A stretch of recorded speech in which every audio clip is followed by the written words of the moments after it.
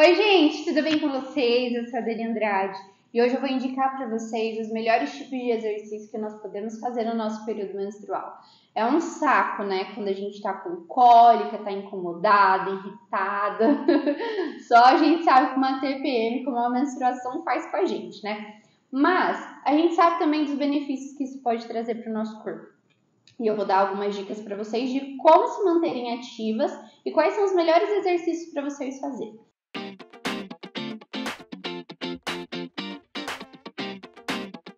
Vamos tentar então entender um pouquinho da parte hormonal de uma forma bem simples de como funciona o período menstrual. Por isso que é interessante a gente entender o nosso ciclo, sabe? O nosso ciclo menstrual. Então a gente sabe que a gente menstrua, que a gente ovula, que a gente passa por uma fase entre a ovulação e a menstruação da fase lútea, que é onde o nosso corpo entendeu que não recebeu né, nenhum óvulo com espermatozoide, não fecundamos nada, então ele vai se preparar para a limpeza dele, que é a menstruação. Quando nós estamos no período de ovulação, é o período que a gente nem pensa nisso, a gente aumenta a carga, a gente faz os nossos treinos mais intensos, os nossos treinos mais fortes.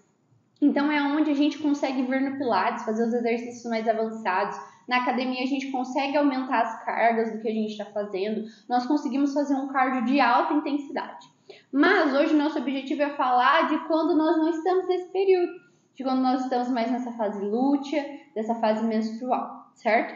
Na fase lútea, vamos pensar que é a fase que a gente está é, reduzindo os nossos, as nossas energias, tá? Nós estamos mais, vamos estar um pouco mais cansadas, um pouco mais fadigadas, um pouco mais irritadas.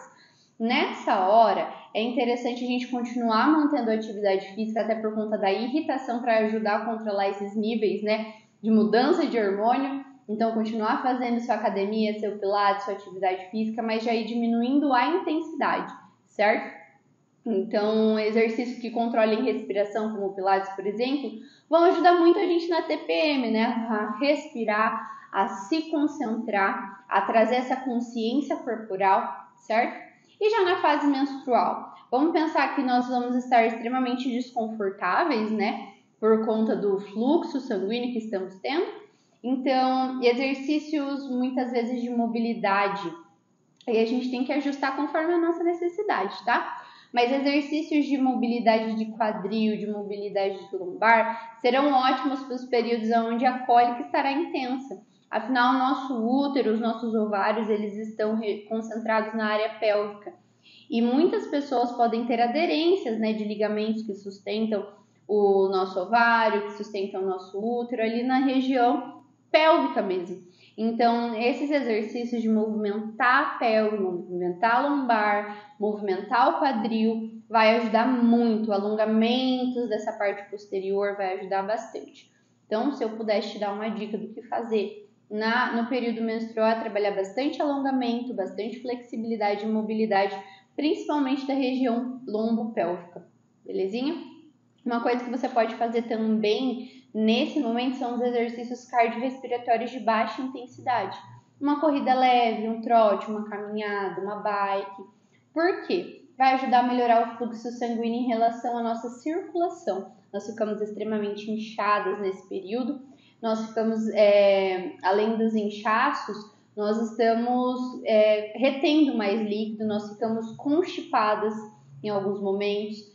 Então é interessante que a gente aumente a nossa frequência cardíaca de uma forma moderada e consiga fazer esses exercícios circulatórios para ajudar nessa retenção de líquido, nessas constipações, né, em todas essas alterações hormonais que acontecem no nosso corpo. Então, em resumo, você pode continuar fazendo exercício na sua fase lútea, na sua fase menstrual, mas saiba dosar isso, saiba identificar quando você sai daquele período intenso que você está na ovulação, super forte, trabalhando e fazendo com uma super concentração e disposição.